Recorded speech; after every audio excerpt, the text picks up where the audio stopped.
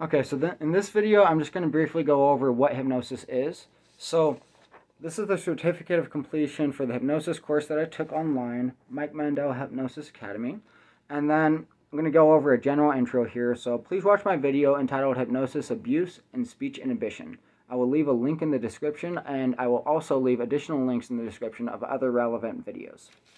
So, what is hypnosis? There are different theories of hypnosis, and I will briefly reference two of them in this video because learning the science of hypnosis and how hypnosis works can provide a, an, a basic understanding of hypnosis regardless of the theory. The first theory is that hypnosis is the same thing as trance. Depending on how you define hypnosis, you could use the terms hypnosis and trance interchangeably. Although I personally differentiate as not all trances will increase an individual's susceptibility to accepting post-hypnotic suggestions or hypnotic commands like hypnosis is intended to. Uh, either way, it doesn't exactly matter. Um, Human Givens theory states that hypnosis is any artificial means of accessing the REM state which is naturally active while dreaming. This theory of hypnosis would provide a legal, logical explanation for all the phenomena that is associated with hypnosis. Okay. Hypnosis definitions. Somnambulism. Somnambulism is the medical terminology for sleepwalking, and in hypnosis is a deep stage of trance that mimics a very similar appearance to sleepwalking, which is why this stage of trance was named somnambulism. This is the stage of trance known to produce the most profound hypnotic effects, and is when post-hypnotic suggestions are primarily given. Two, post-hypnotic suggestions. Post-hypnotic Post-hypnotic suggestions are the instructions and or commands given to subjects while in somnambulism that are carried out upon waking from trance or after specified hypnotic cues or after a specified date and or time. Critical faculty. So just introduction for it, the critical factor or critical faculty is not a part of the brain or a tangible object. It is just a concept, although a very real concept. Just like time, the conscious mind, or the unconscious mind. So, in hypnosis, there is an important concept known as the critical factor or critical faculty. It means the exact same thing and is most commonly known as the critical factor, although in my hypnosis course it is referred to as the critical faculty, and that is what I'm going to be referring to it as in this video. The critical faculty is responsible for processing, interpreting, analyzing, and questioning information before acceptance into the unconscious mind. The critical faculty is commonly described as a filter, firewall, or barrier in between the conscious and unconscious mind that is responsible for processing, questioning, interpreting, and analyzing whether or not the information should be accepted or rejected as true or false in order to develop an accurate understanding of reality. An oversimplified understanding of what the critical faculty is is the conscious awareness and short-term memory. Although they are not the same thing, although they're not the same things. Short-term memory is a form of memory. The critical faculty is, a, is information processing. And the conscious mind is responsible for much more than just processing information in short term memory. So, the critical faculty is capable of processing a lot of information very quickly, although is limited in its information processing capabilities. The critical faculty is limited to processing 7 plus or minus 2 bits of information at a time. Very similar to short term memory in regards to remembering phone numbers, children under the age of 7 have underdeveloped critical faculties that readily accept information without questioning, processing, analyzing, or interpreting the information. An example of this would be how children will believe in the Easter Bunny, Santa Claus, and the Tooth Fairy. In the deep, deep hypnotic trance known as somnambulism, the critical faculty is less capable of processing information than that of a child's.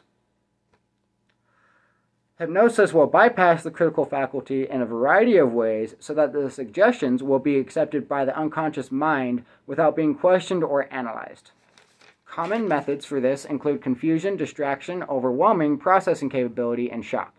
In Ericksonian hypnosis and subliminal messaging, the critical faculty is often bypassed by distracting and consuming conscious attention to an overwhelming extent that no conscious attention is drawn to the subliminal messages that are involuntarily accepted by the unconscious mind because the ability to process and or question the information is bypassed.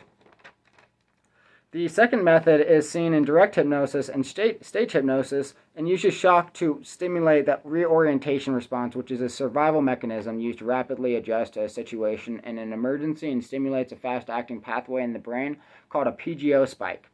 During the reorientation response, processing, processing capabilities are limited, which can result in an automatic or immediate acceptance of sensory stimuli.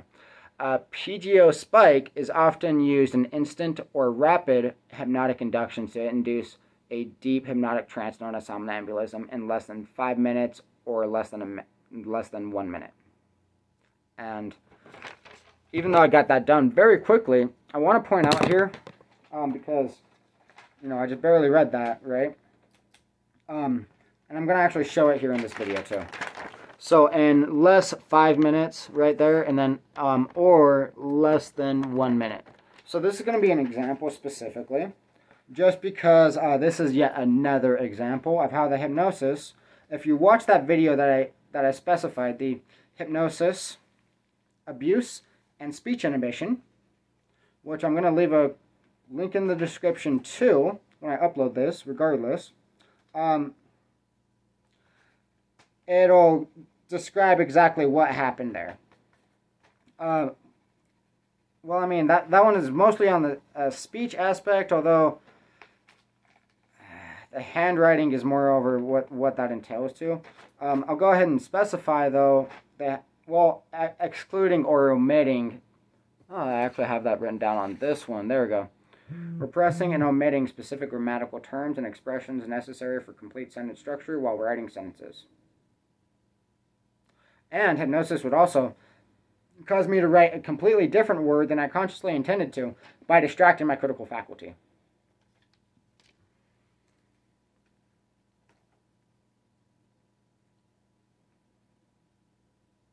And conscious awareness, right?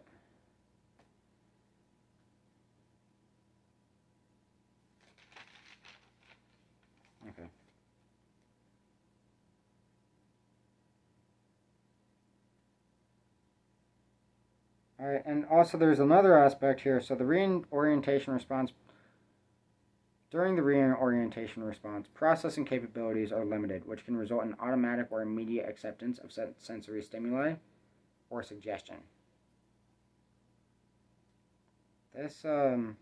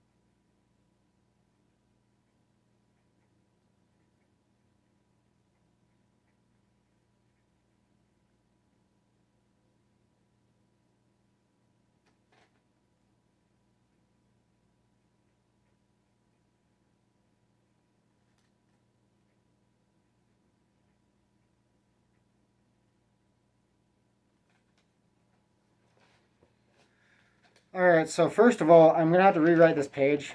This is extremely abusive because, um, you know, I'm pointing it out and I'm using this as evidence anyways. I was going to, but regardless of such, let's see. So, critical faculty, page 2.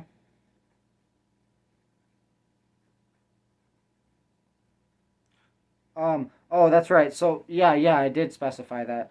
Um, what would end up happening is like I would be distracted. I, I would get distracted. The hypnosis would cue some form of distraction, like uh, you know, just a distraction thought, variety of different things. Regardless of such, it would happen, and then when it happened, um, sorry about that. The hypnosis is inhibiting me. I need to start writing faster.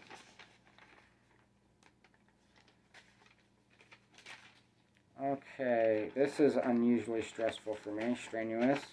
That doesn't exactly make sense, right? Considering the situation. So let's go ahead and do this again. Critical faculty, page 2.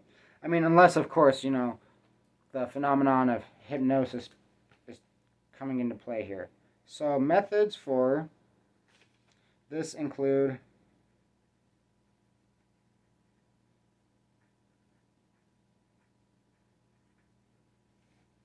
confusion,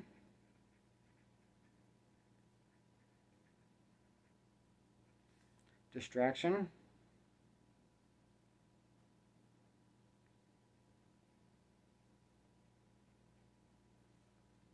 overwhelming processing capabilities,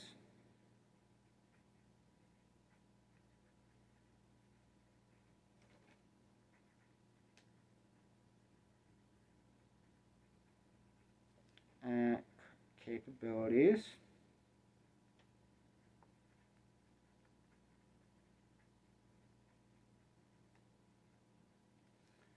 Oh, sorry about that.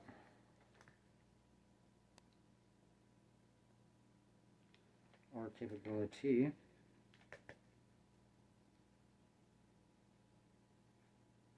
And then give me just a second here and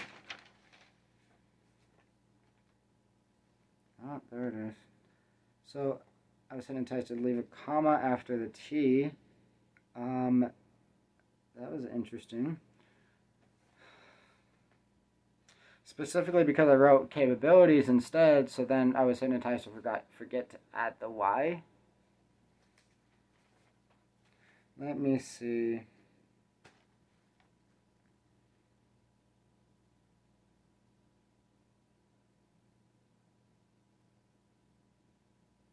Ah, it's right here. There we go, there we go.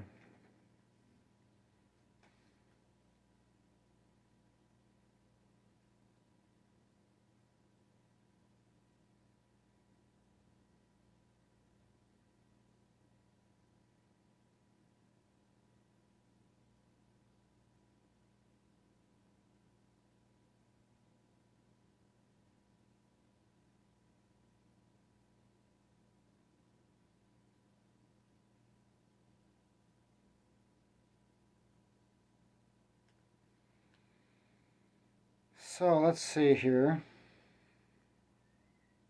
So I want to make sure I describe this well enough because, yeah, a sensory stimuli and what? Um, you know, I'm I'm just pounding my hand on the desk because it's a post-hypnotic suggestion, by the way. So, um, let's see.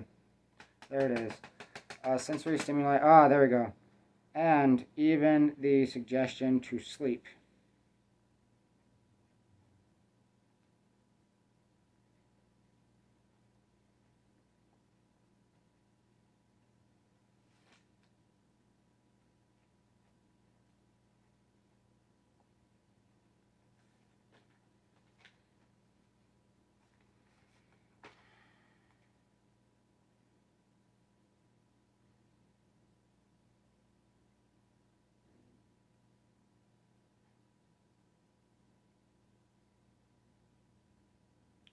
Inducing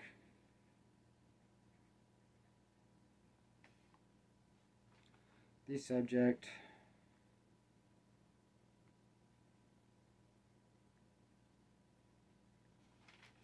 into somnambulism.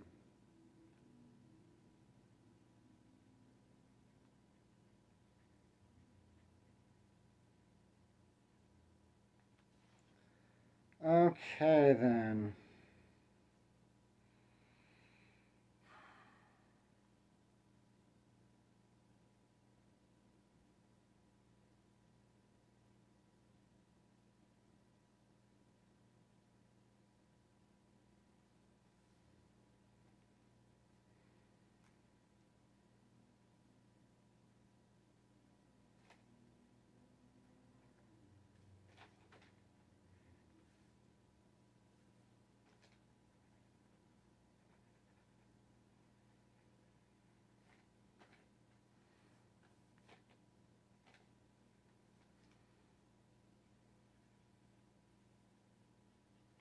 Okay, so I left some reminders here just to make sure that it's on the page and I'm able to see it.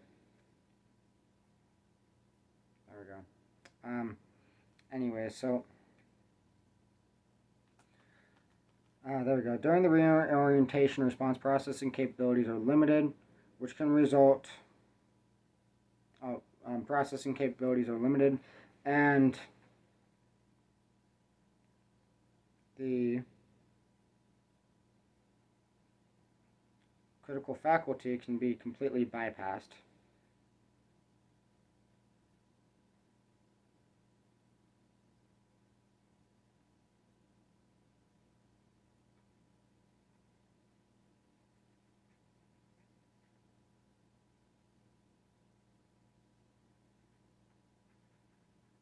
There we go.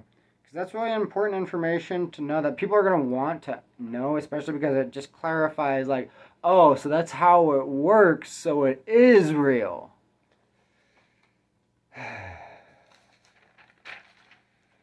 And I mean, it is something that, like, a lot of people will, um, like, uh, actually want to watch because they enjoy, uh, they, you know, like, that's the information that I had to, like, look very thoroughly for to ever be able to find.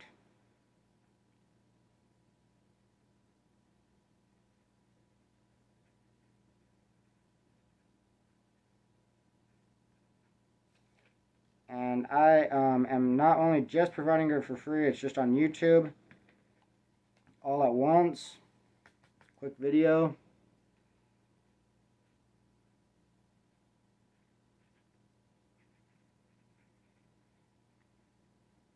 Ericksonian hypnosis, and subliminal messaging.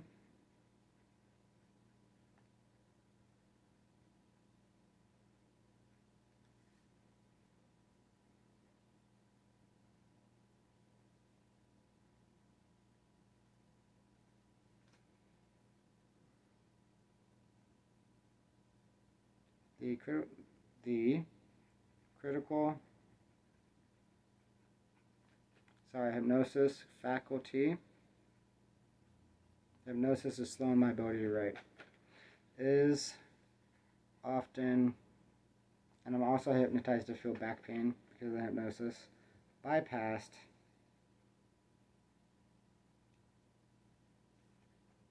by distracting, by distracting,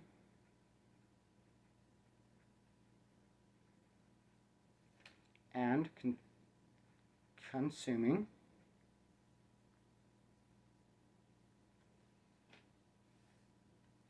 Conscious attention.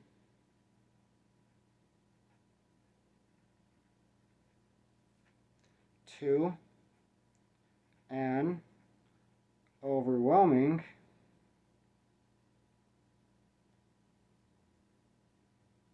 Oh, my my my arm is cramping with hypnosis. I can't even say it. Extent.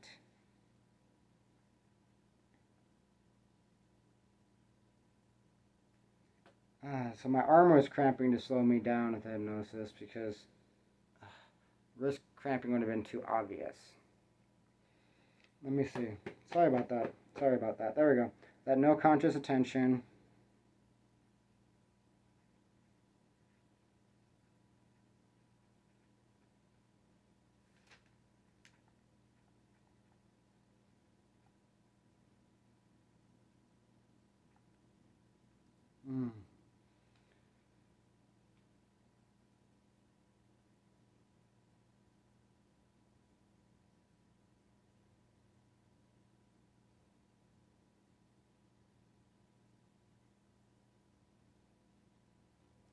There we go, is drawn to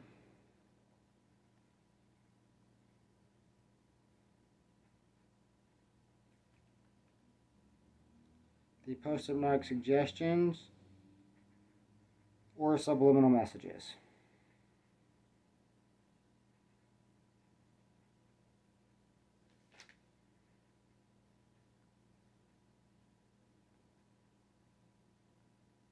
post hypnotic suggestions, or subliminal. That was slow. Let's see. Messages.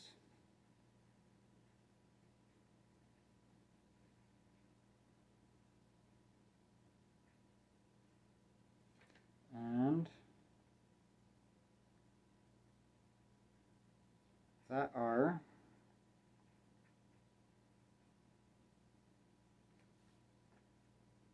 involuntarily.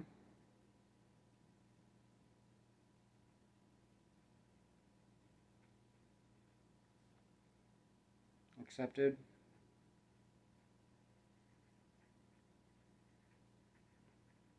By the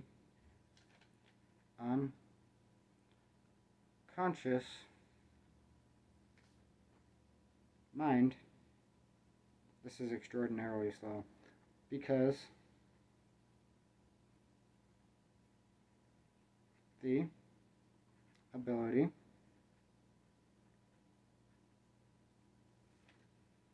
to process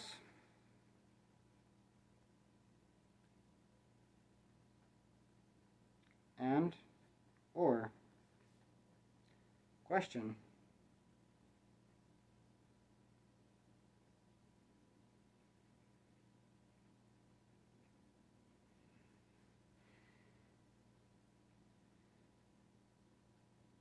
the information is bypassed.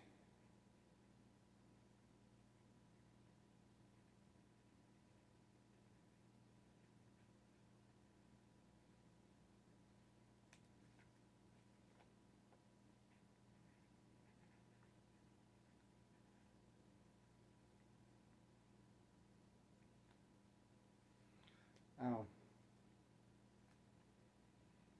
Okay, let's see. So the second the second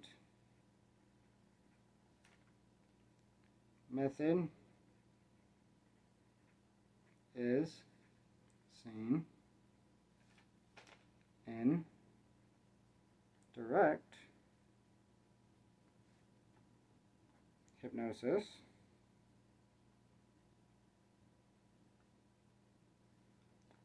And stage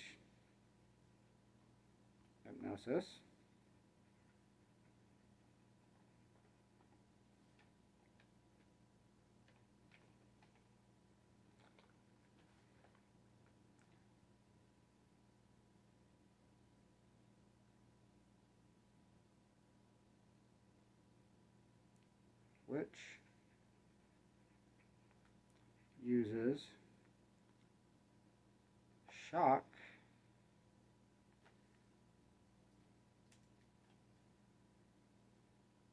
to stimulate the reorientation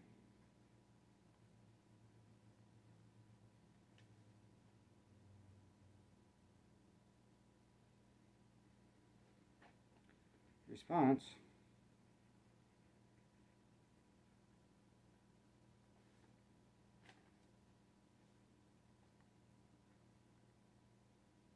which is a survival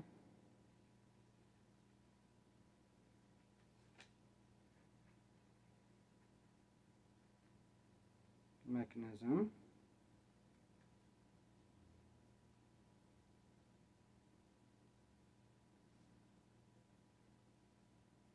Used to rapidly.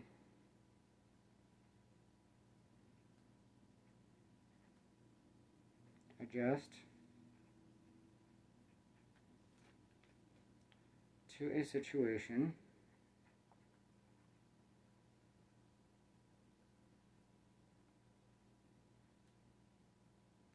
Oh. In an emergency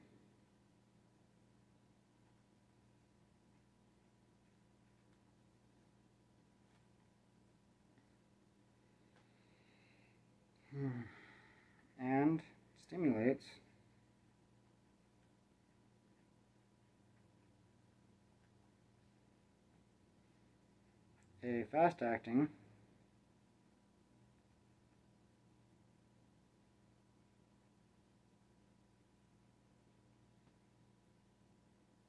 pathway in the brain.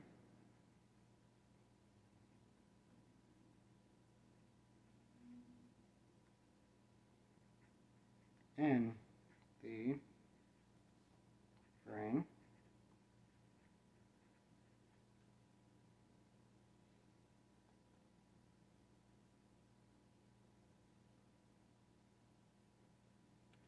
called a PGO spike.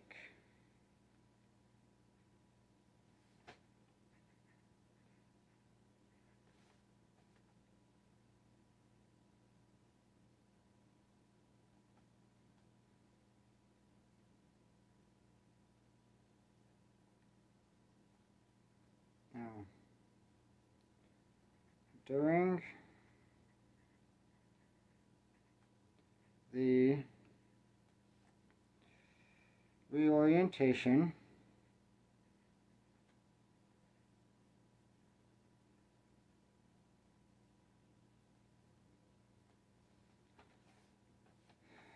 response. Sorry about that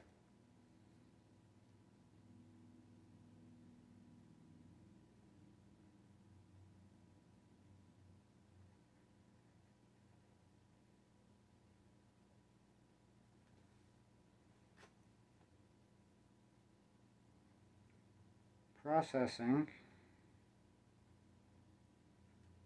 capabilities